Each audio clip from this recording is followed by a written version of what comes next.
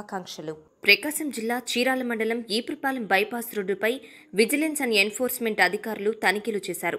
లారీలో అక్రమంగా తరలిస్తున్న నాలుగు వందలకు పైగా పీడీఎస్ బియ్యం గోతాలను విజిలెన్స్ డీఎస్పీ అశోక్ వర్ధన్ రెడ్డి పట్టుకున్నారు. లారీతో సహా బియ్యాన్ని గ్రామీణ పోలీస్ స్టేషన్కి తరలించారు. లారీ డ్రైవర్ను అదుపులోకి తీసుకుని విచారిస్తున్నారు.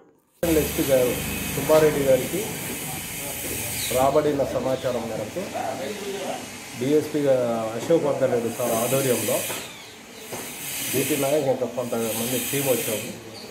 వచ్చి ఈ చీరాల బైపాస్ దగ్గర ఒక ఎలాంటి